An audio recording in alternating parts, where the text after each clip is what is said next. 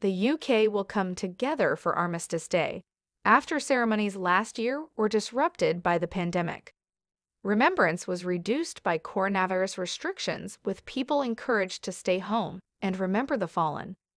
With no more restrictions in place, people are able gather at cenotaphs around the nation to commemorate those who have died in military conflicts. The two-minute silence is held every year on 11 November at 1100 GMT to mark the end of World War I in 1918.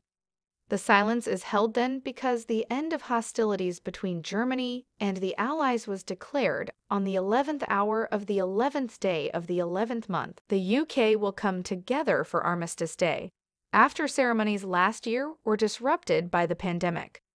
Remembrance was reduced by coronavirus restrictions, with people encouraged to stay home and remember the fallen. With no more restrictions in place, people are able gather at cenotaphs around the nation to commemorate those who have died in military conflicts. The two-minute silence is held every year on 11 November at 1100 GMT to mark the end of World War I in 1918. The silence is held then because the end of hostilities between Germany and the Allies was declared on the 11th hour of the 11th day of the 11th month.